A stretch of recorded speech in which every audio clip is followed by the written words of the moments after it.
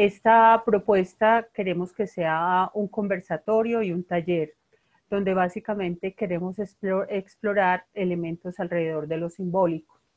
Vamos entonces, bajo esta noción de lo simbólico, la está proponiendo el Colegio de Cuerpo, Artes, y Artes Estéticas y Educación de la Facultad de Educación de la Universidad de Antioquia. Somos cuatro compañeros los que lo integramos actualmente. Fernando Baena, maestro, profesor de oficio, docente de la facultad. Él es magíster en educación y en sistemas simbólicos. Bienvenido, Fer. Nos acompaña Libertad Aguilar. Ella también docente del colegio y de la Facultad de Artes. Ella es magíster en educación con énfasis en euritmia terapéutica. En artes, Doris, magíster en artes perdón, magíster en artes con énfasis en eurismia terapéutica. Gracias, Liber, por la aclaración. Eliana Fernández, también magíster en artes y especialista en movimiento auténtico, psicóloga también de oficio.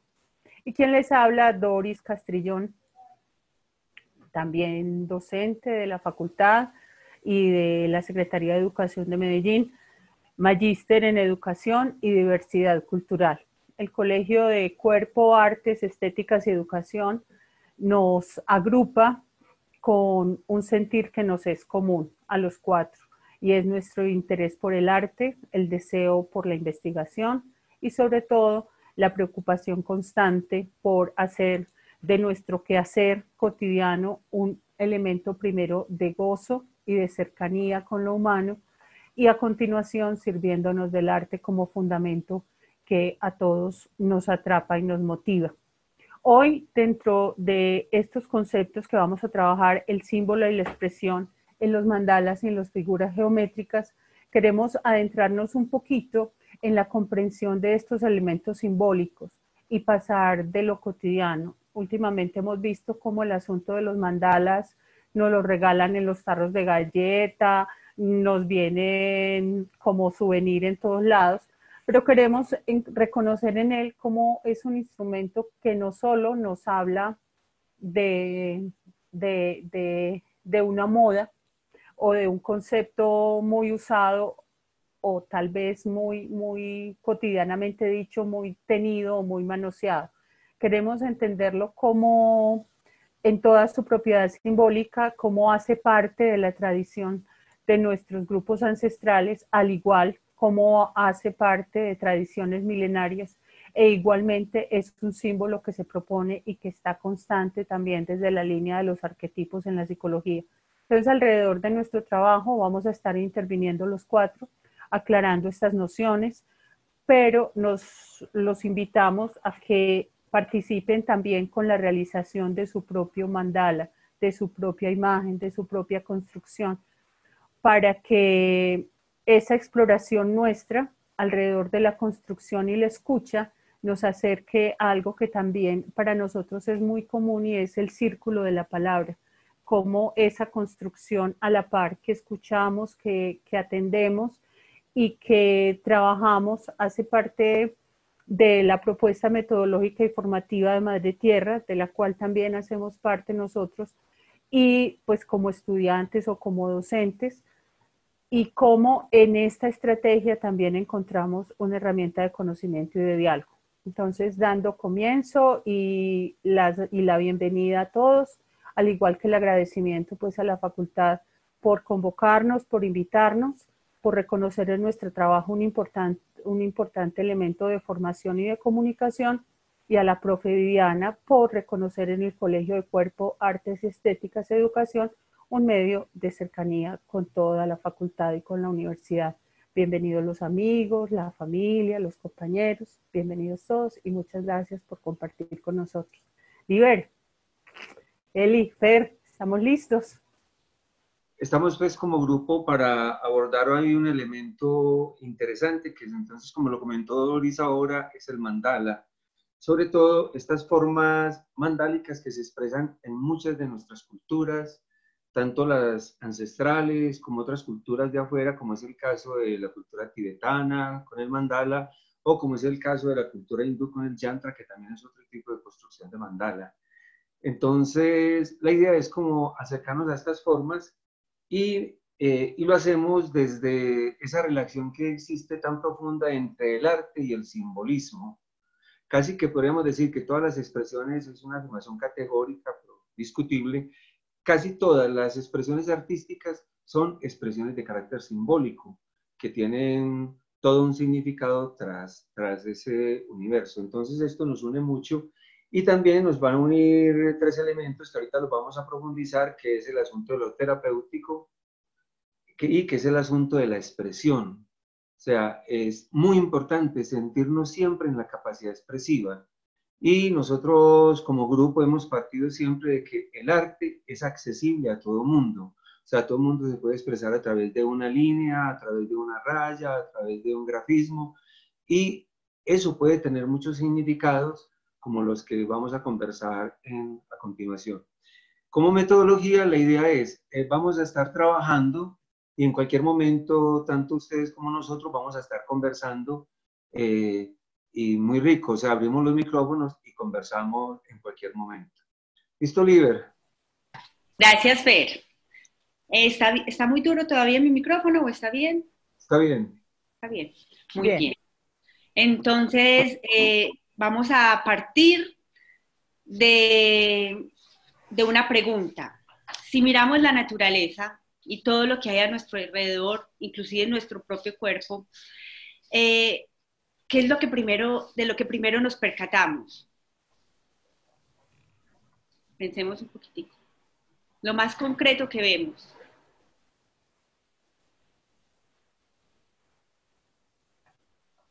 diversidad de formas, ¿cierto? Y si uno ve que todo está, todo tiene una forma en el afuera, todo es perceptible gracias a una forma, hay un contenido dentro de esas formas, entonces nos preguntamos cuáles son los principios creadores de esas formas. Y entonces cuando uno va profundizando en esa pregunta y ya se hace como más pragmático, uno se va dando cuenta, voy a sapearles aquí, que todo está compuesto de líneas rectas y curvas. Nada hay fuera del universo que no tenga líneas rectas y líneas curvas. Y a través de esos dos principios, todo lo que se expresa en el mundo y principalmente como expresión orgánica de la naturaleza, que de ahí ya surgen las otras inspiraciones que construimos como cultura humana, es, eh, de ahí vienen las expresiones que también logramos pero esa naturaleza es la gran maestra en ese sentido. Ella todo el tiempo está modelando esos principios de una forma orgánica, armónica, vital, eh, recíproca, abundante, proliferante, generosa.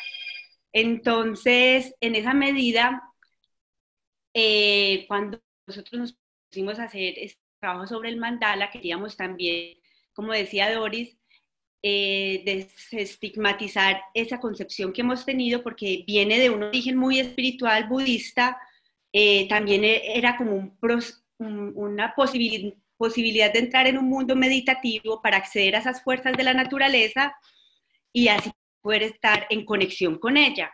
Pero lamentablemente nosotros ya hemos perdido esa conexión. Hemos ganado mucho, mucho en intelecto, somos muy tesos sacando teorías sobre todo lo que hay en el mundo, pero a veces esas teorías lamentablemente no tienen nada que ver con la realidad y con lo que nos enseña la madre naturaleza, que es tan sabia, la dejamos de escuchar. Y como que una de las sensaciones que tenemos nosotros también es que queremos ejercitarnos para volver a escuchar, queremos ejercitar un órgano interno que nos posibilite entrar otra vez en esa conexión y partiendo de ese origen espiritual del mandala, queremos eh, aprovecharlo para acceder otra vez a esa conexión con fuerzas de la naturaleza. Eh, Mandala también significa unidad. Y para sentir la unidad, si nos damos cuenta, la forma geométrica o si la expresión geométrica más perfecta de toda la naturaleza, ¿cuál sería? Alguien que en el chat de los participantes escriba cuál es esa forma geométrica, esa expresión geométrica que, es, que siempre tiende a ser perfecta.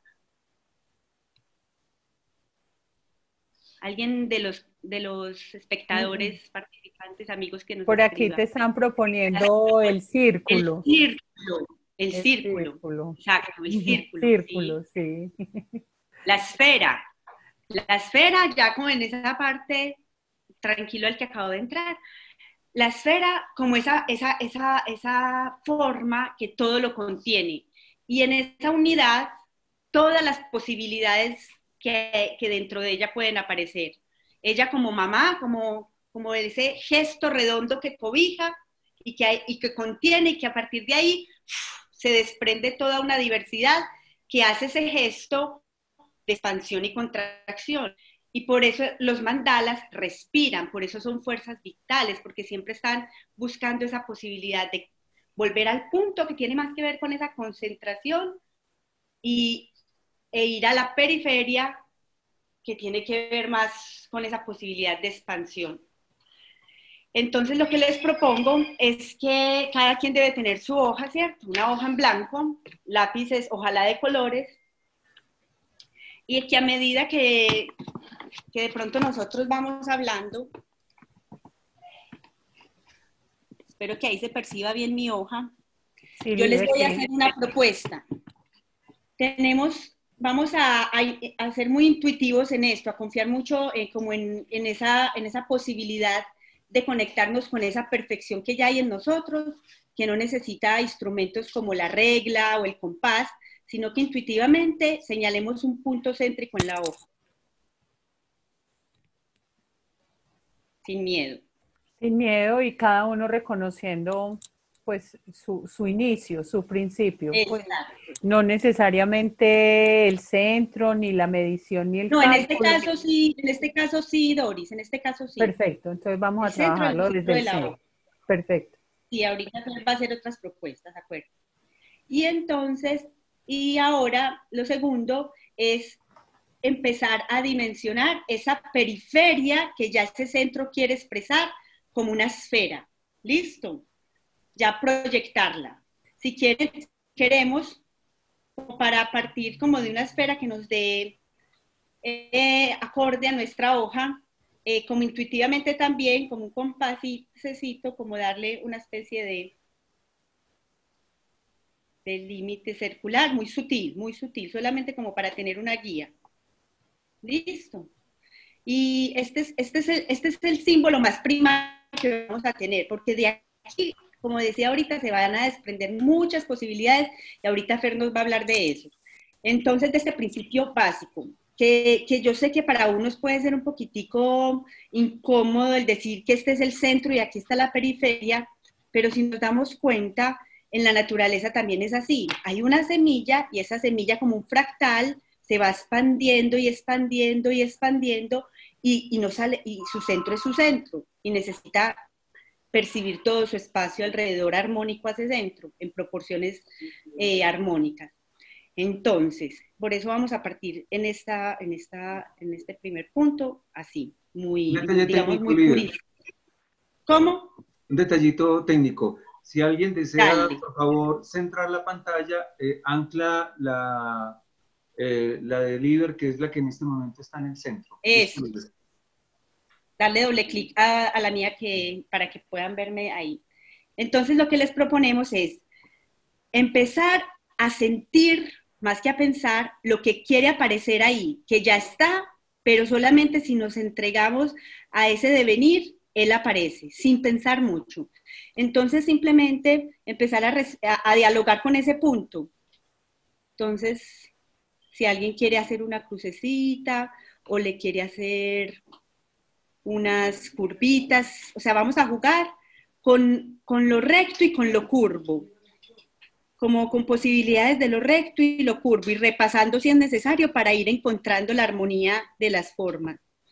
Y así, en esos dos principios que, se van a, que van a estar muy cerquita al centro, tratar de ir expandiéndonos con creaciones muy muy personales, o sea, ya no miren más lo que yo acabo de proponer, sino que ya con este impulsito que yo les doy, que puede ser muy diferente, puede ser que alguien se le haya ocurrido hacer em, unas hojitas al principio, o cinco hojitas, o sea, es, no es importante cuántos, cuántas em, expresiones salgan, solamente que siempre la que viene va a estar en diálogo con esa, es una relación recíproca, es como un, relevo.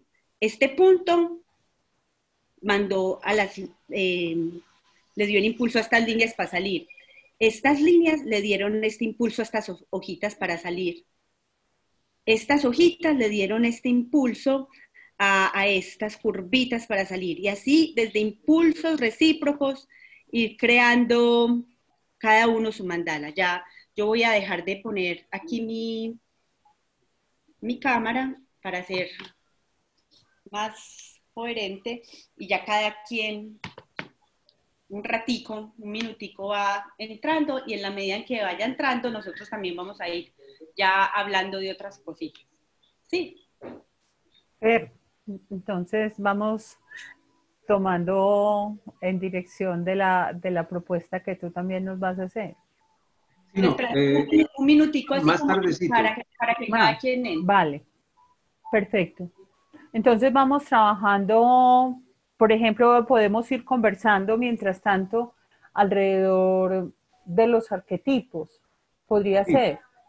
Sí, la idea es que vamos trabajando y la medida que vamos trabajando, pues todos. Eh, eh, vamos a conversar entre todos y nos vamos aportando y resolviendo inquietudes o al mismo tiempo también como mirando desde muchas, eh, desde distintos enfoques conceptuales eh, lo que es las formas mandálicas. Cuando quieras, Doris, puedes iniciar. O, o Eliana.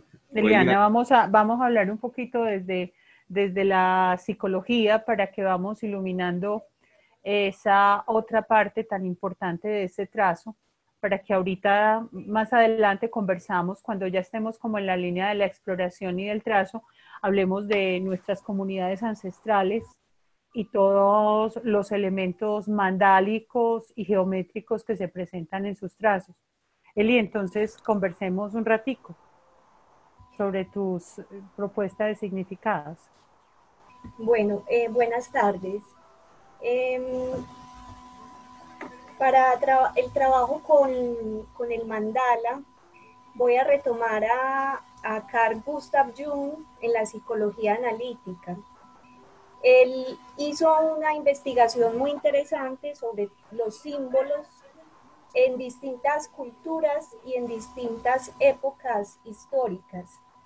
Em, lo interesante que hizo Jung fue que trabajó, eh, él encontró que en distintas culturas del mundo eh, emergían, emergían símbolos con sentido y significado para cada cultura y eh, fue en esa observación que él empezó a construir el concepto de inconsciente colectivo.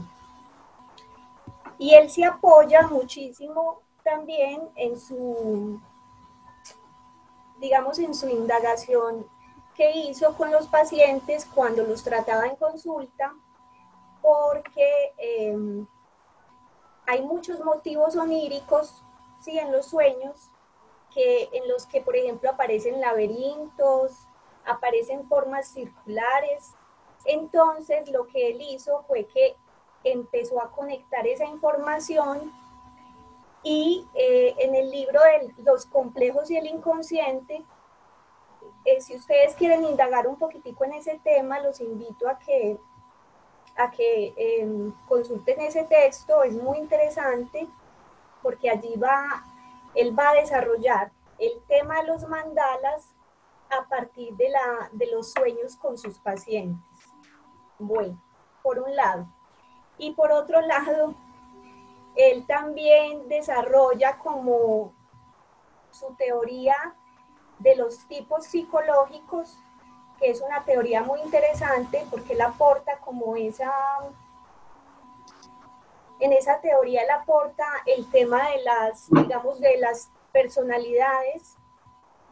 Entonces él habla de que todos, eh, digamos, como funciones psíquicas, tenemos el pensamiento, el sentimiento, la intuición y la percepción. Y de la conjugación de esas cuatro posibilidades que están en todos nosotros y que en unas personas predomina más unas que otras, no significa que no existan, sino que hay como una predominancia. Entonces, por ejemplo, una persona puede ser más racional, entonces si es más racional, eh, tendrá conscientemente algunos aspectos a nivel racional, inconscientemente tendrá otros aspectos a nivel eh, del, del subcontrario, que sería el sentimiento. O si es una persona muy perceptiva, eh, su opuesto complementario inconsciente será la intuición. Yo quería compartirles una, no sé si, si está bien compartirles la imagen, la pantalla. Sí, hágalo.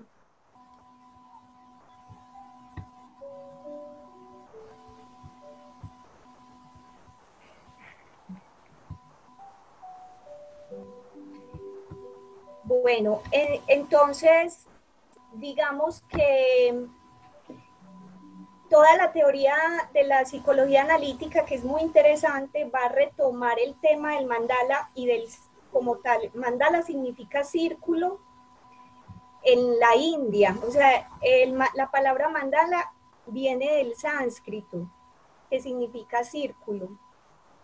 En el enfoque junguiano. No, no, no, no, no. Ah, bueno, en general, vale. En general, Doris. Eh, la palabra mandala significa círculo y, proviene de la India. O sea, esa es la terminología, esa es, digamos, la raíz del término. Y significa círculo y nosotros estamos trabajando pues con el círculo, ¿sí? Em, bueno, ¿qué descubrió Jung?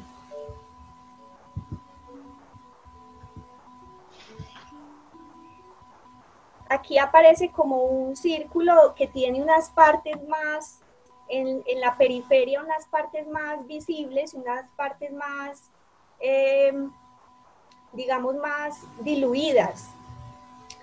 Entonces, eh, es muy interesante porque la manera como puede ser abordado un taller de estos, ¿sí?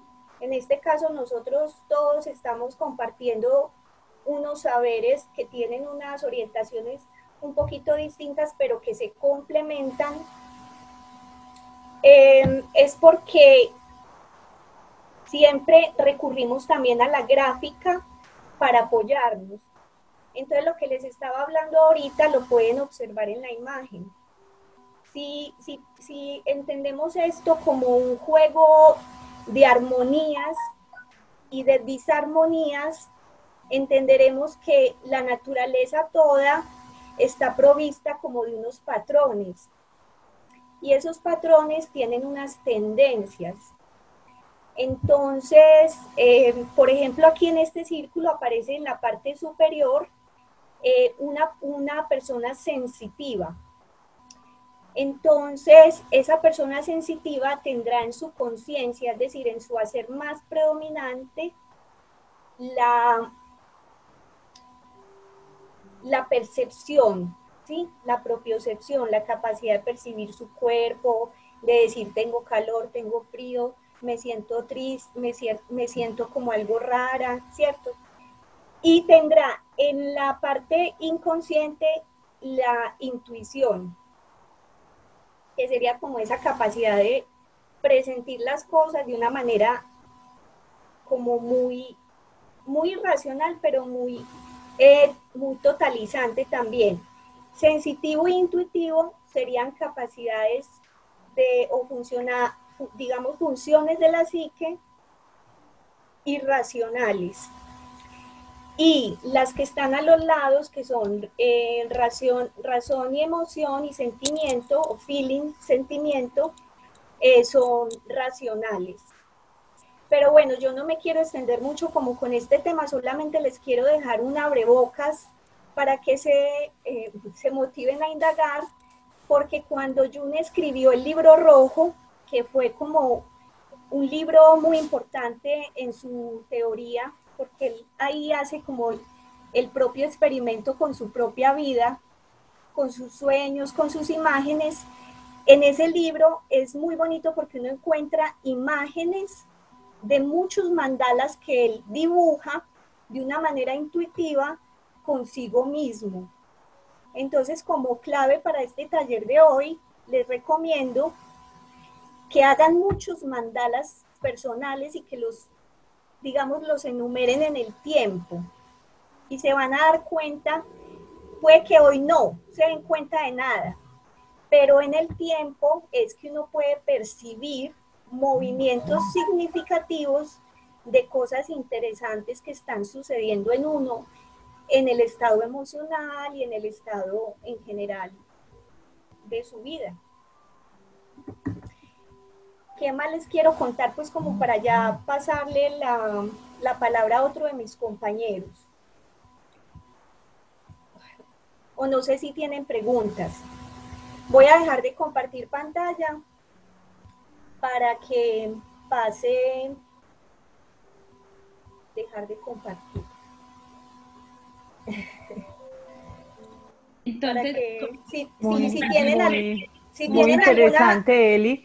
Si tienen alguna pregunta, sería rico. Si alguien de los participantes tiene preguntas, sería chévere. Ahí, eh, eh, no, ahí yo quisiera resaltar lo que Fer nos hablaba o nos nombraba al principio, como en la construcción de mandala y de las figuras geométricas encontramos diversos enfoques. Tú decías, viene de, de tal lenguaje y significa tal forma, pero también Fer nos hablaba ahorita de los yantras y ahorita, dentro de un ratico, miramos cómo dentro de nuestras comunidades, cualquier, pues muchas de ellas, los Cunadule, los Navajo, los Ica, los Arhuacos, vamos a encontrar cómo esas figuras geométricas tienen otras instancias de comprensión. Esa es la riqueza de, lo simbólico, de lo que estábamos hablando en sus inicios. Liber, ¿ibas a, provocar, a decirnos algo? Sí, yo quería como en lo que dijo Eli, en esas tendencias que Jung, o sea, uno como podría, qué cualidades tiene cada una como para que uno sepa o para identificar, pues no, para identificarme, se puede decir identificarme con alguna de ellas o cuál es mi, como para saber cuál es mi tendencia en ese... Eh, como la presencia de alguno de los ítems del círculo en su trabajo, es como eso, ¿cierto? En mi personalidad. Eh, hola, por aquí hay unas preguntas en el chat, ¿las puedo antes eh, para que sí, claro. las aborden? Sí, claro, vamos, vamos abordándolas de una vez que él nos conteste. una de ellas es, ¿podemos describir una personalidad o estado de ánimo? cómo se procede con el análisis de sí a partir de lo que se dibuja. Entonces, aquí hay interesantes elementos para que lo conversemos. Si quieres, tú inicias, Elis, y, vamos entre todos conversando.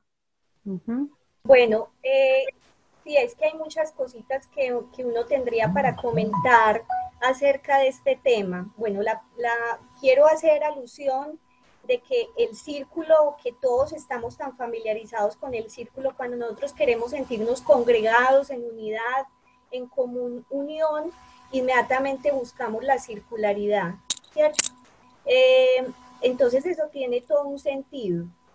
Cuando Jung desarrolla su teoría, él, él asocia el círculo y él dice, el círculo, el mandala, va a ser el, digamos, el símbolo más significativo que va a aludir al, arquetipo del self, al arquetipo del sí mismo, que va a ser como el arquetipo fundamental o el arquetipo autorregulador de la psique, eh, que es, digamos que para entender un poquito ese concepto, podríamos hablar como de que cada uno de nosotros tenemos una esencia, una esencia que nos hace ser muy especiales cada uno, ¿sí? como una flor muy única.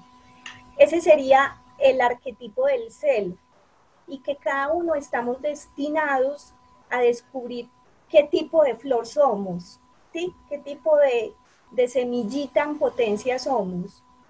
Entonces, no sé si eso responde a la pregunta que hacía la compañera por el chat, porque lo que sucede es que, bueno, no es que con que uno haga mandalas y que va a descubrir su self, no, ni que por hacer mandalas te vas a iluminar, pero sí de alguna manera es un ejercicio artístico, una expresión o manifestación artística que te va a ayudar, ¿cierto? Digamos, a posibilitar una expresión de tu estado emocional en el presente en el que te encuentres. Eli, ¿y es para uno mismo o para el terapeuta? Y eh, ah, bueno, quería terminar eso y yo te agrego algo. La pregunta de Doris. La pregunta que hace Doris es muy interesante.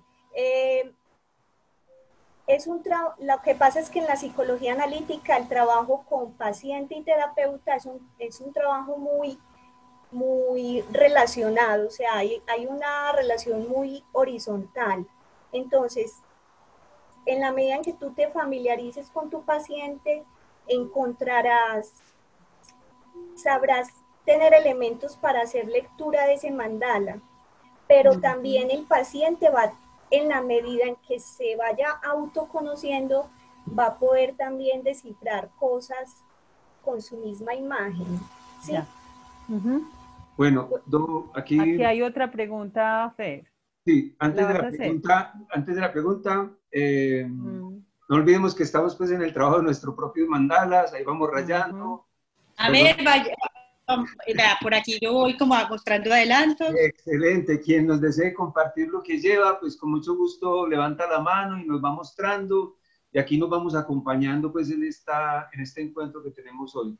Listo. Eh, eh, hay otra pregunta que dice cómo se puede leer un mandala para ver los cambios del tiempo, yo quería eh, hablar acá algo importante. No olviden que el mandala es una expresión simbólica que está transmitiendo un significado de algo. Y en las distintas culturas, de acuerdo a la cosmogonía, a, toda la historia cultural que posee cada grupo humano, eh, esa percepción de, del mandala pues eh, viene de una manera muy profunda. Como lo expresaba ahorita Liana, es como, por ejemplo, el concepto del Big Bang, o sea, un punto pequeñito que explota y expande un universo, o como, el, el, lo que nos hablaba Liber ahora de lo que es la naturaleza, cuando observamos ciertas frutas, o cuando simplemente salimos a la afuera, miramos al cielo nos encontramos con una bóveda celeste. o ahí, para completar eso, Fer, el juego de las polaridades. En nuestra sociedad le ha tenido tanto miedo a la polaridad y como en el mandala es un asunto complementario. Son formas que se complementan, en ningún momento rivalizan, ni hay pulsos de fuerza. Y eso es muy interesante dentro de estas realizaciones. Sí, y ese punto importante es como la manera como todo ese símbolo, con esos ejemplos que doy, cuando miramos el paisaje que es curvo, eh, y en muchas y muchas formas, que ese símbolo se va compenetrando con el ser y como decía ahorita Diana, desde ya desde la psicología más profunda, va adquiriendo significados, o sea, no hay lecturas generales de mandalas, hay lecturas contextuales. Y tampoco como pretenden las cuestiones esotéricas con un mandala, pues te vamos a definir una personalidad, tampoco. No, que es en un proceso constructivo con una cosa muy interesante y es la expresión. Eso de, incluso aquí es esa posibilidad de, de volver a recobrar, ese derecho de expresarnos a través de distintos medios, en este caso pues desde el medio gráfico. Entonces, eh, cuando habla de si los mandalas cómo se podrían leer para mirar esos cambios del tiempo, es muy interesante porque si no es lo mismo que tú estés hoy trabajando con un estado de ánimo a que lo hagas dentro de algunos días o en determinadas circunstancias o en este momento en que estamos en una especie como de encierro a otro momento en que estemos muy libres y lo hagamos como al aire libre al lado de otro, cualquier cosa de eso. No sé qué más, Elis, o alguna... Eh, respondiendo un poco pues como a esas preguntas que están haciendo, es un recurso, es un recurso, pero no se debe entender como que fuese una cosa que va a resolver fórmulas eh, mágicas ni va a contestar cosas totalizantes, no, es un recurso muy interesante y, y que a nivel del simbólico se encuentra en todas las culturas del mundo, que ese es el tema que va a tocar ahorita Doris un poquito y que también libertad y pues por lo y Fernando. Eh, sí, puedo decir también algo. Bueno, yo que soy que trabajo, digamos que mandalas en movimiento, podría también llamarlo así, cuando yo, yo practico un arte que se llama euritmia, y en la euritmia también buscamos mover armónicamente entre las personas y siempre está como ese, esa posibilidad de entender de dónde viene el movimiento y hacia dónde quiere ir. Entonces, para la pregunta que se hacía frente a cómo yo percibir y poder de pronto hacer una lectura de, esos, de, esas, esas expresiones, eh, voy a atreverme a decir algo muy general. Eh, las emociones, como también decía Doris, se mueven en esa polaridad, tristeza, alegría, pesadez, liviandad, euforia, eh, ¿cómo se dice? Estar muy apacible. Apacible, tranquilo. Melancólico, eso, etcétera, etcétera, etcétera, ¿cierto? Activo, pasivo. Y en esa polaridad nos damos cuenta de que precisamente respiran en, esas dos, en esos dos momentos. Uno que quiere ir más hacia adentro, que contrae más, y otro que quiere ir más hacia afuera y expandirse. Entonces, hay días que nos van a quedar unos mandalas muy contraídos, digámoslo, muy con tendencia hacia el centro. Y de pronto preguntarnos ahí, ve, ¿cómo estoy? Y si, a ver si tiene relación con esa sensación que, pues, en caso de que hagamos un mandala como este tipo expansivo, porque hay muchos otros tipos de mandala que nos va a decir Fer, o, o si está muy, muy con figuras y formas muy, muy que se, como que se diluyen en la periferia o que tienden a, a irradiar hacia la periferia, también preguntarse, ve, ¿será que me falta centro? ¿Será que me falta volver un poquito más a mí? ¿Será que me estoy yendo mucho para la afuera? Y, en, y como, como un inicio para entrar de pronto en esas lecturas, que me hablen de si estoy todavía en mí, hay una relación armónica de ese yo que se relaciona con el mundo. No sé, Eli. Sí, Liber, eh, yo quería, sí, genial lo que están diciendo y me encanta. Eh, y no sé si Fer quiere ampliar eso que está diciendo Libertad con el tema de los colores que son tan importantes en, en un mandala para poder... O de las diferentes formas de mandala. Yo creo que eh, deberíamos, porque hemos hablado del expansivo, como avanzar un poquito también en ese sentido. Bueno, eh, podríamos mirar, lo voy a resumir un poco así, es que podríamos, lo que estamos trabajando hoy son mandalas intuitivos, o sea, que los estamos desarrollando sin ningún tipo de instrumento, como realmente lo, lo hacen las culturas. Los navajos, por ejemplo, trabajan con arena y hacen unas perfecciones increíbles y todo lo hacen con los dedos. O, por ejemplo, en el caso de la cultura lama, los lamas, eh, ellos se congregan eh, cada año por alguna circunstancia, ya sea porque quieran estar con la divinidad o porque quieran hacer un ritual espiritual o porque quieran hacer sanación, por muchas razones. Entonces, por ejemplo, ellos trabajan el mandala también como una construcción eh, que congrega a la comunidad, al mismo tiempo es ritual y al mismo tiempo es expresión artística. Y es muy interesante porque lo empiezan desde el centro hacia afuera, lo hacen con arenas muy hermosas de colores, con un aparatico que se llama chambú. Cada, eh, cada eh, persona que está en el ritual tiene uno de estos aparaticos, lo va raspando y van cayendo las arenitas y van formando las figuras, que llegan a ser unas figuras demasiado hermosas. Y se pueden demorar varios días, muchos días, y es en absoluta concentración y silencio. Y originalmente la hacían con ese aparatico y las manos y lograban una perfección geométrica muy grande. Luego que termina el proceso, le hacen el ritual, Luego lo desbaratan desde la afuera hacia el centro con un significado simbólico muy interesante, que es todo en la vida, por hermoso que sea, pasa.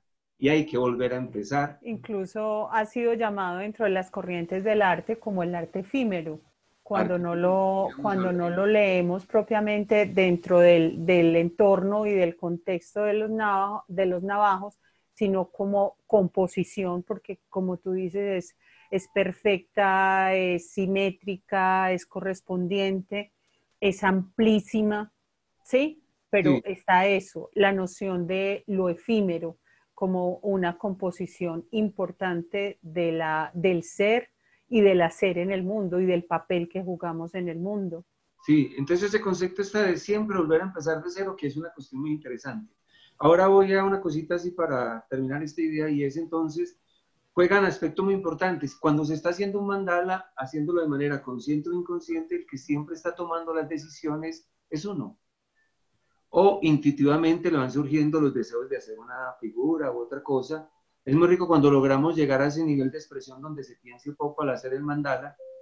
Y entonces, tanto el espacio, tanto la forma y tanto el color van a adquirir allí un determinado significado a partir de la expresión.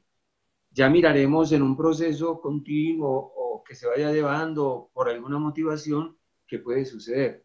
Eso es interesante. Algunas veces pueden tener ya en el arte, arte del mandala, pues ya puede tener una expresión muy técnica y por eso a veces pues estamos acostumbrados a ver la reproducción del mandala y los eh, mandalas que son como para ilustrar, también siguen siendo interesantes porque de todas maneras se va a trabajar con algo, pero en el fondo lo que estamos haciendo allí es crear eh, símbolos y a través de esos símbolos leer significados.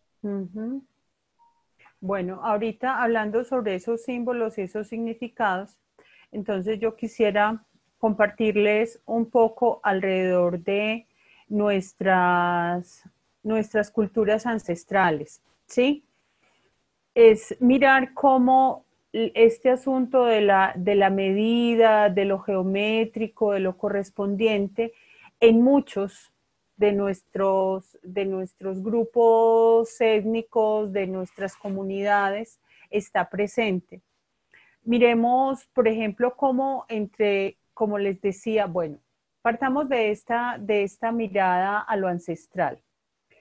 En un principio solo existía este Dios, se refiere a Serankawa, quien creó el mundo en forma de espiral, dibujando un caracol de nueve niveles o pisos. Los cuatro de arriba constituyeron los cuerpos astrales, el sol, la luna, las estrellas y el firmamento. Los cuatro de abajo, los dominios de los muertos. Y en el piso del medio creó la tierra, de configuración plana, que es donde viven los hombres. Serankawa Creó la tierra y su, para su conformación se casó con cuatro esposas, que son las cuatro capas de la tierra. La negra, la amarilla, la roja y la blanca. La blanca referida a los hielos, la amarilla a los desiertos, la roja a muchos territorios terrosos que conocemos de ese color y la amarilla, ¿cierto? Para sostener el mundo, Sarankawa colocó en sus últimos niveles en orientación los cuatro puntos cardinales. A los cuatro los llamó Nansiki, que sentados mirando hacia el centro los sostienen en sus hombros con dos varillas de oro llamadas Yuisisimana. Entonces vamos a encontrar estos patrones geométricos y estas figuras en nuestras comunidades, no tanto plasmados en, en, el papel, ¿sí? sino como también podemos verlo en el, en el vestuario en la India, en, en, muchas figuras que encontramos en las molas nuestras, cómo los objetos empiezan a apropiarse los instrumentos, los objetos de casa, las tinajas, ¿sí? Entonces vemos aquí, por ejemplo, en esta tinaja, que es un, dibujo común cuando uno le dice a alguien de una comunidad, muéstreme cómo es un objeto común en la comunidad, es muy posible que le muestre este. Y tenemos la presencia entonces de Kansachú, la hoja del árbol, ¿cierto? De Girkanu, los cerros y las lagunas. Entonces, dentro de estos elementos, cuando nuestras comunidades los ponen en los objetos, los ponen en diversos usos, nos están invitando a esos elementos de la naturaleza que hagan parte de nosotros. El jacuo, la serpiente cascabel, es, un elemento muy importante para nuestras comunidades, ¿sí? Y este patrón simétrico de la serpiente, aquí en esos trazos pueden reconocerlo, es mirar cómo en un objeto como la mochila que nos gusta tanto y es, y es tan común en nosotros, y vamos a ver ahorita a continuación cómo muchas de esas figuras nosotros las usamos sin reconocer la fuerza y la potencia que la comunidad nos está entregando. De alguna manera también es una invitación a que reconozcamos cómo las comunidades nos hablan, más allá de una mochila que valga X dinero, es cómo usted en su elección también está cargando un designio de la comunidad y una elección de su deseo. Y si fuéramos a la psicología de la que nos habló Eliana, podríamos decir también del inconsciente. Entonces miren cómo este patrón geométrico empieza a tomar presencia en los objetos. ¿Sí?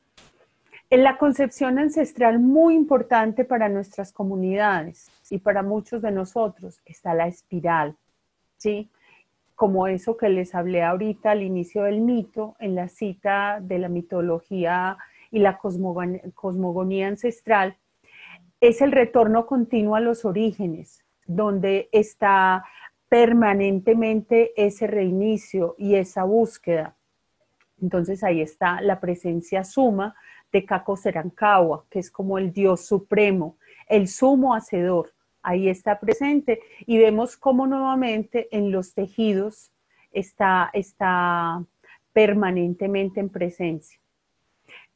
La visualización del mundo en las cuatro esquinas, eso que también les propuso en el mito, en los arahuacos, el mundo como lo demarca y como lo da la cosmogonía. Entonces recuerden cuando hablábamos de los cuatro pilares y las cuatro, y las cuatro puntas del hemisferio que están, que están sostenidas. tú y la visualización de las cuatro esquinas del mundo, en la comprensión de esa polaridad. Entonces miren cómo cuando en un tejido no lo proponen, nos están hablando también de esa dimensión, de esa universalidad y de ese sentido de equilibrio del que también hablábamos ahorita. Entonces, quería con esto mostrarles cómo dentro de nuestra ancestralidad estos, estos esquemas geométricos, estas líneas de construcción, pueden que no nos acerquemos tanto al círculo como lo estaban planteando, como lo estaba planteando Eliana, o como lo estaba planteando Fernando, pero sí hay una, una lectura cosmogónica y eso es muy importante. Y como en ese discurso hay toda una, una composición y un sentido. Yo me atrevería como a compartirles un poquito de los elementos, por ejemplo, de las serpientes, que tiene que ver con los sueños o cuando están plasmados. Cuando usted es mordido por una serpiente, por ejemplo, en nuestras comunidades, si se tienen los sueños o se tienen el objeto que usted carga, usted está haciendo una invitación al coito, ¿sí? Entonces está ahí presente el deseo, presente el placer. Eh, el plátano, como la hoja que veíamos en el recipiente, es encontrar el gusto en lo que usted hace, encontrar el gusto en la comida, encontrar el gusto en su oficio, encontrar el gusto en sus placeres. Entonces es casi una invitación a que cuando reconozcamos estos tejidos y estas formas que las comunidades nos entregan, también sepamos que estamos llevando mucho de su cosmogonía en esas formas geométricas o en esas formas mandálicas. No sé si, eh, si hay alguna pregunta o algo que quisieran que aclarara. Doris, eh, que pido la palabra. Que la tienes. Me emocioné mucho escuchando, escuchando eh, lo que estabas diciendo. Eh, Liber, muéstranos tu mandala que te quedó muy bonito. Em, es que estás tocando el tema de la interpretación, que es una cosa muy interesante y que, y que claro, cada cultura le da sentidos y significados a sus productos simbólicos. El no vaya a interpretar en público. Entonces, por eso, no, precisamente por eso estoy haciendo la, digamos, como la aclaración. Yo creo que nosotros, nosotros a veces tenemos una tendencia a querer interpretar y darle un único significado a las cosas y eh, siempre el símbolo nos va a dejar muchas puertas abiertas el símbolo no se cierra, antes abre. El símbolo tiene polival, es polivalente y polifuncional. y plural, y plural. Sobre todo eso, pues que, que lo tengamos en cuenta, que desde cosmogonías, desde tradiciones, desde culturas, desde contextos, vamos a encontrar construcciones que nos hablan de esa pluralidad. Bueno. Eh, Hola, eh, líder. Sí, para que, podemos compartir algunos de los mandalas. Exacto, de las personas. Eh, he preguntado cómo se puede hacer y no sé qué. mira, por eso, pero esto necesita una, una cosa logística. Eh, ah, bueno, de los panelistas es posible, pero si de los participantes alguien se atreve a enviar al correo. No, no, eh, no tiene necesidad de enviarlo, simplemente abre la pantalla, lo muestra a través de la pantalla. Eh. Pero no es posible para los participantes. Ah, qué falla. Por eso.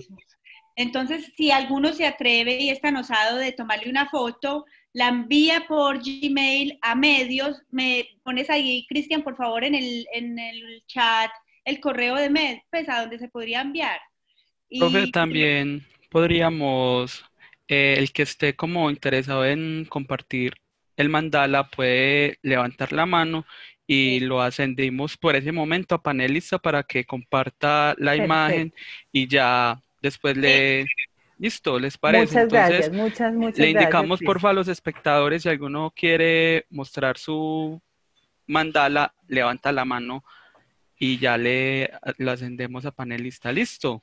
uno, dos, tres. Aarón, Wilton, Diana, Juan Zapata. Eh, eh, Juan, hola. Bueno, entonces eh, vamos a proceder uno por uno para que sea más organizado. Listo. Entonces ya ascendimos a Harold. Él puede confirmar, vamos a confirmar con el de arroba para que pueda compartir la pantalla. Listo. No, no. Si levantas, Pilar, si levantas la manito aquí por, por el chat, si, si quieres mostrarlo, entonces te lo, te, lo, te lo van a permitir. Espérate un segundito, Pilar.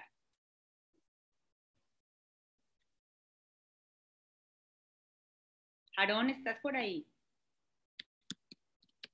Se salió. Con otro, Cristian, porque Aarón se acaba de salir. Ah, no, ahí está mostrando. Ahí, ahí está, ahí está. Ah. Mira, mira que Aarón lo está presentando. Que, que la pantalla, por favor, para que lo veamos, que lo amplíe para todos. Lo que pasa es que está muy oscuro. No, eh, pero se alcanza a percibir. Pero sí lo, sí lo vemos, sí. Sí, Aarón, muy bello. Muchas gracias. siempre lo ha sido. Hermoso, hermoso. Muy hermoso. Gracias, Aarón. Vuelva a Colombia, él, él, es un gran artista y está en Suecia, él hace teatro espectacular y algún día va a volver, ¿cierto? Claro, yo conozco a Aarón.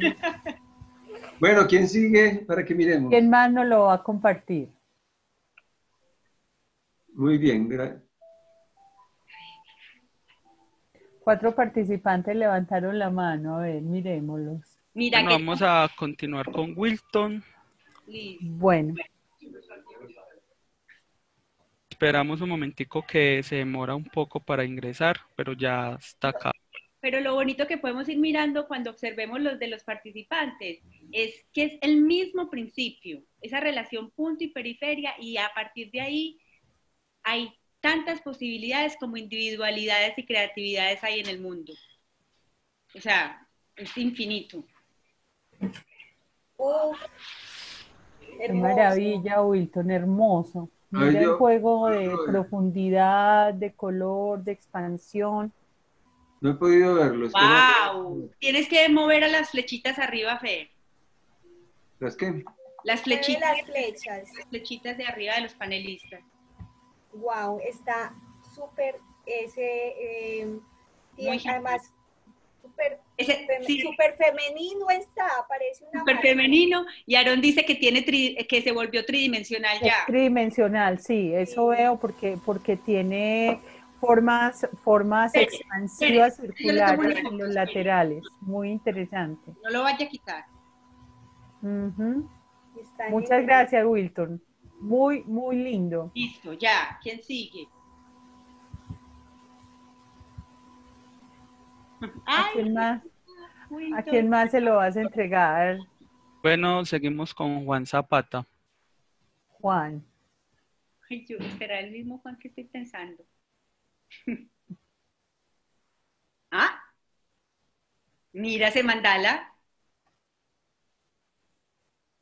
No, a mí no me ha llegado, yo no lo tengo. Juan, lo tengo en oscuro. No digo yo la, la imagen que apareció ahí de, de Wilton Ah. con Cosmos. Mm, Mira el de Juan. Juan.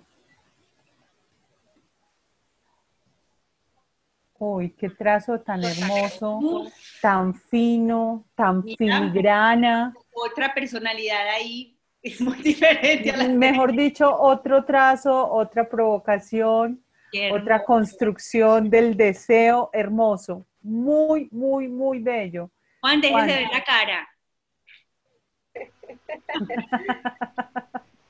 Gracias por compartir, Juan. Muchas Muchas gracias. gracias.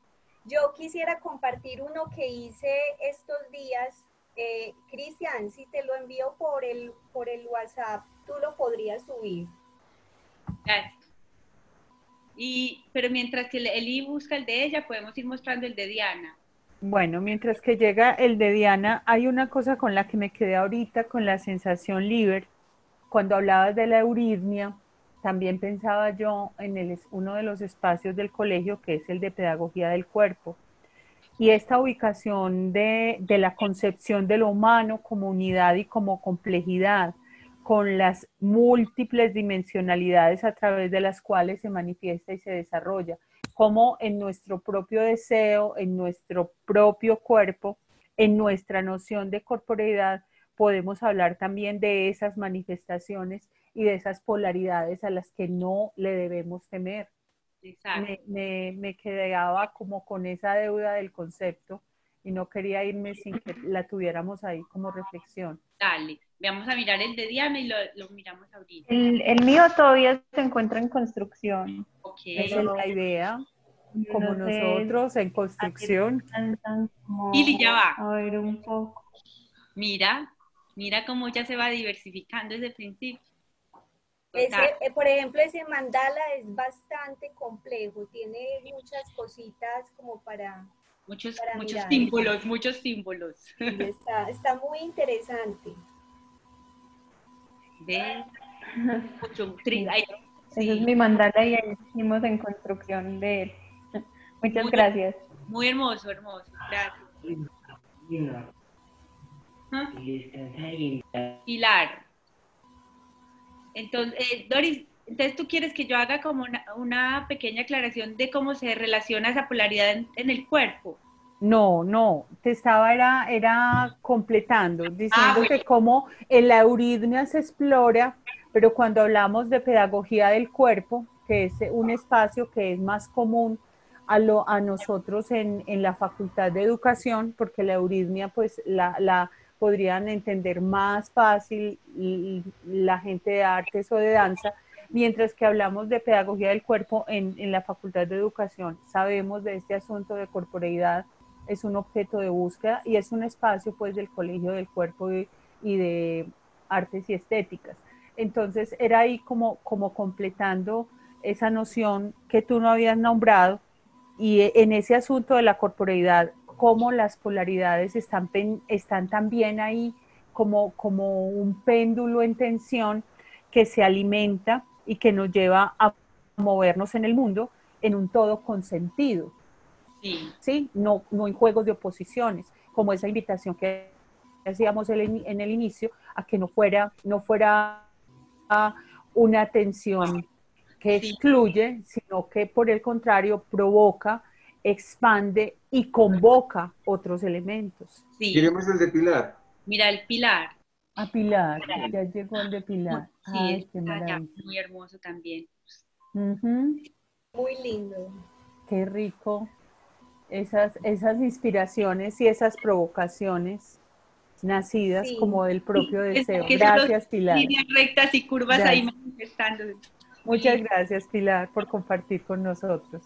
Sí, eh, yo quería, yo quería eh, mostrar en la pantalla otras dos imágenes del PowerPoint para ampliar unas cositas que han dicho todos y que me parece que son significativas. Bueno, la primera, cuando estaba hablando Doris de lo de los, del ejemplo de las culturas ancestrales, me acordé de, por ejemplo, de los mitos, del mito de, de, Ariana. Vayamos proyectando a Alejandra, Alejandra Restrepo. Eli, recuerda no, no alejar mucho el micrófono, recuerda tenerlo a una buena altura. Vamos mostrando los mandalas que están compartiendo. mientras el iba vamos mostrando. Esa es la idea. Me estaba acordando simplemente del laberinto del Minotauro en el mito de Teseo y Ariadna. Claro. Eh, que es un mandala maravilloso y que alude a, ese es mi mandala, ese que están mostrando ahí en pantalla, ese lo hice yo en estos días en un taller que estuve con el profesor Fernando Baena, entonces ahí ese día me las oye y eso fue lo que emergió y le quité pues como los bordes. Eh, y me acordé de los, en la cultura hindú existe el yantra. El yantra es un cuadrado y un círculo, que son las dos figuras que, con, que contienen y concentran esas dos fuerzas en tensión de lo de lo lineal y de lo, y de lo curvo, que hablaba ahorita eh, Libertad. Ya, quería decir esas dos cositas que no se me fueran ahí. Muy bien. Alejandra, estamos mirando el de Alejandra. Alejandra, ¿lo puedes entrar un poquitico más para mirarlo? Eso. Muy bien. Y ya Alejandra mira si lo deja en esa tonalidad de, grises y blancos o si va a tener color o no, ya tú lo miras. Eh, muy, bonito. Mira que cuando uno no está poniéndole regla, medición concreta, cuando no está con escuadra, eh, es muy interesante porque ahí es donde empiezan como otros elementos a, a expresarse. Y esa es una, una combinación muy hermosa de, de, figuras que se, por ejemplo, esas, esas eh, ¿cómo le decimos? Montañitas chiquiticas alrededor de, de esa curva grande.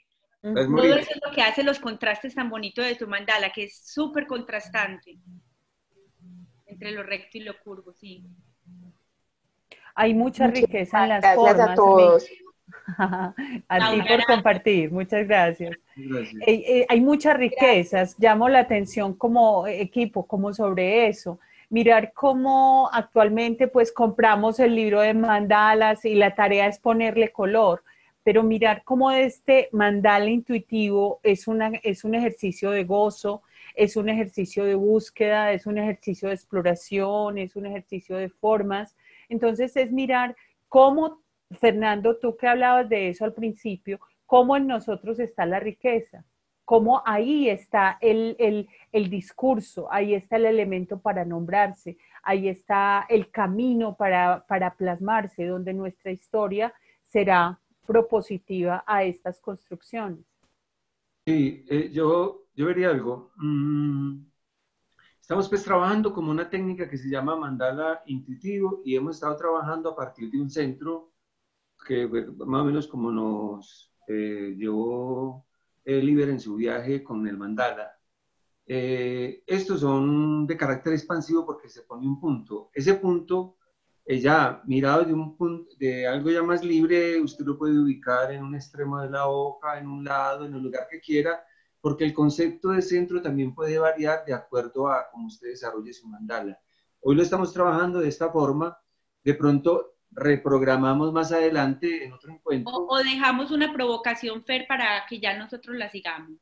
Sí, podría ser, podría ser eh, en el sentido de que, por ejemplo, mm, este tipo de mandala, entonces estamos trabajando desde ese centro, pero ya podríamos trabajarlo desde un extremo, desde una punta. Voy a mostrarlo compartiendo pantalla eh, para que podamos observarlo. Voy a intentar compartiendo pantalla por acá.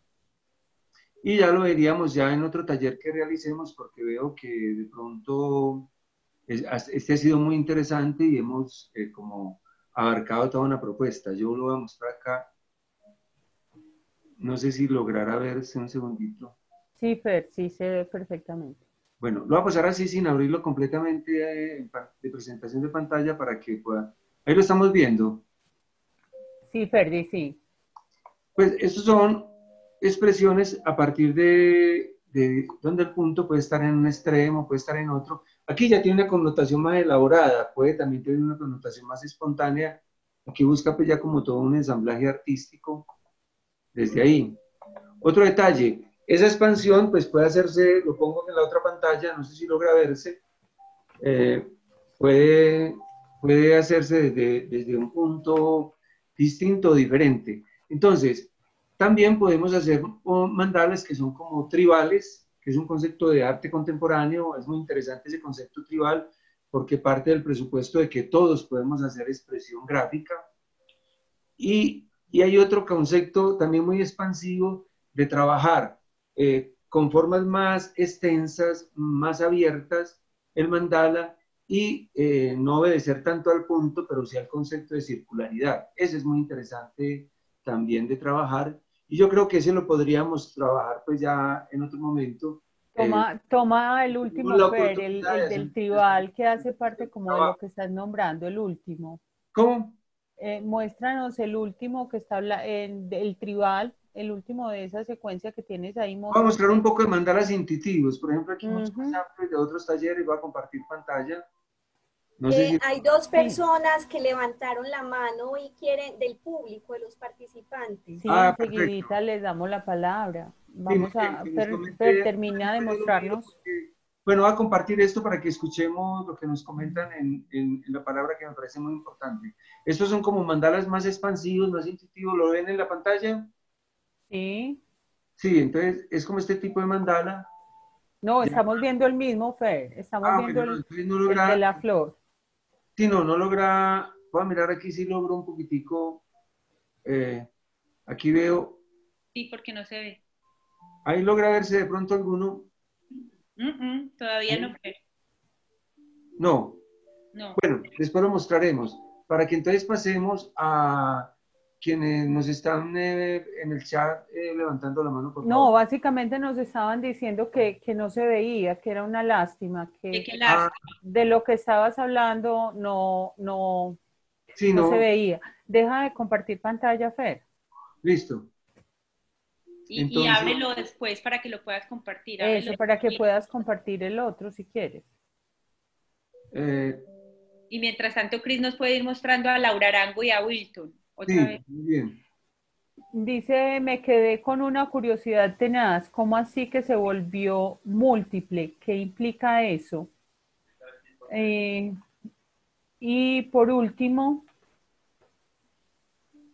¿cómo acaba de decir? No, no, no lo acabo de... Y por último, esta provocación, ¿cómo puede servir de camino hacia el descubrimiento esencial de mi arquetipo? Ah, muy interesante la pregunta. O sea, la repito, dice, me quedé con una curiosidad tenaz.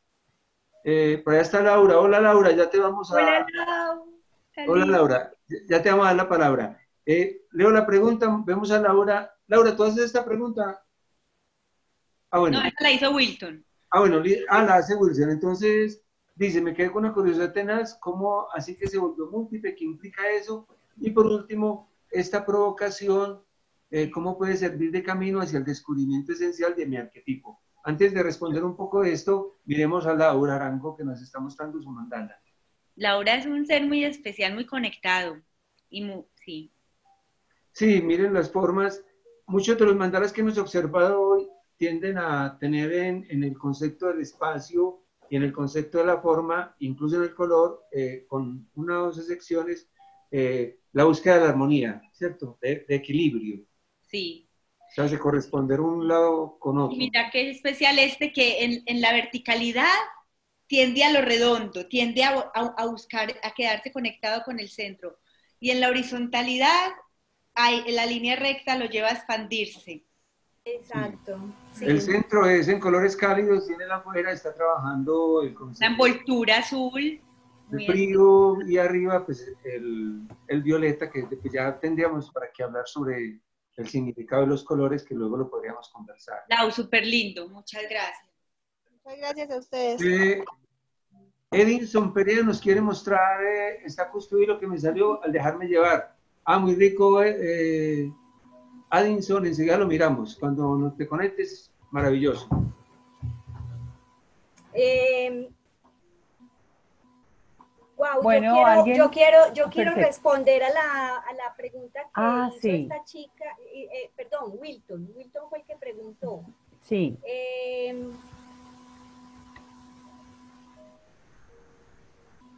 al descubrimiento esencial de mi arquetipo. Nosotros nos movemos con muchas imágenes o representaciones arquetípicas. El arquetipo en sí, que es una palabra tan manoseada últimamente, el arquetipo en sí no, se, no hay forma de asirlo, de cogerlo, de, de entenderlo, de racionalizarlo. O sea, el arquetipo no hay donde cogerlo. Uno, uno entiende estos conceptos cuando los traspasa a la imagen arquetípica. En este caso, una imagen, una imagen, es el- una imagen arquetipal sería el círculo. Entonces, eh, ¿cómo voy a la búsqueda de mi, de mi arquetipo personal?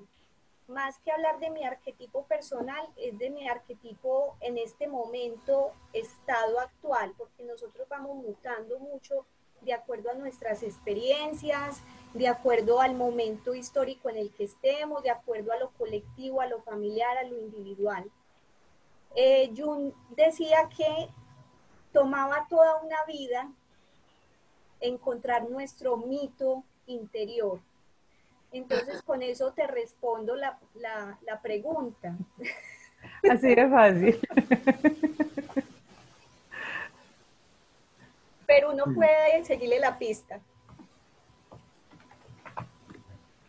O si no, ahí está Eli que le ayuda a encontrar las pistas y la senda. Compañeros, ¿alguien más va a compartir? Son las 5 y 16. Ah, muy bien. Nuestra conferencia taller creo que dio muy bellos y gratos frutos. Mm, Muy Yo bien, pienso y hablo a nombre del, del colegio y lo que teníamos conversado y presupuestado nosotros, el objetivo se cumplió. Como siempre ven en el Colegio del Cuerpo, Artes y Estéticas un discurso que es plural, pero principalmente amoroso del arte, con el gusto por la exploración y con el gusto por compartirlo con la facultad y con el mundo. No sé si mis compañeros quieren referirse como a los que nos estuvieron acompañando para, para irnos despidiendo.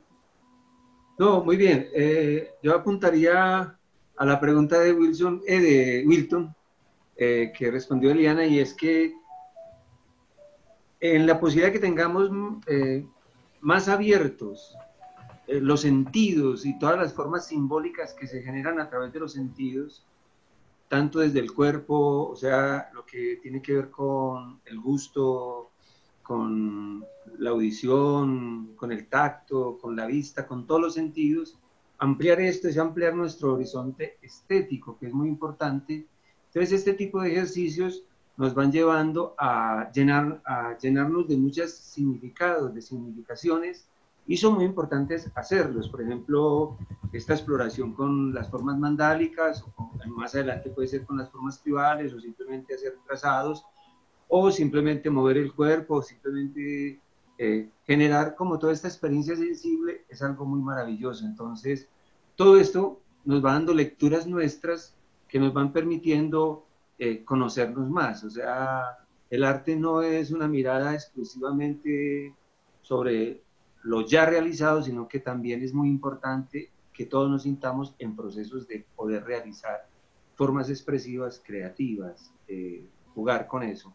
Eh. Doris, pues muchas gracias que nos hayan acompañado y, y cualquier inquietud, pues se pueden comunicar con cualquiera de nosotros o con el grupo y estamos dispuestos a colaborar con mucho gusto.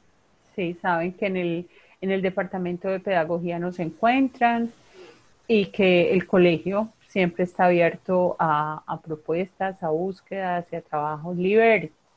Muchas gracias, Gloria Franco, por ahí que nos saluda. Yo Muchas también les gracias a Manuela gracias y al equipo de medios. Ujú. Sí, yo también doy las gracias porque con este tema, a pesar de que estamos todos aquí en unos cuadrados metidos, viéndonos por estos cuadrados, logramos transmitir un sentimiento donde el centro y la periferia respiraron y respiramos junticos un rato y eso es como yo digo de una forma saludable para el momento del que estamos teniendo. Excelente, excelente. Y muchísimas gracias a todos, gracias colegas y gracias a los compañeros que nos ayudaron en la, en la plataforma y en, en, en el diseño.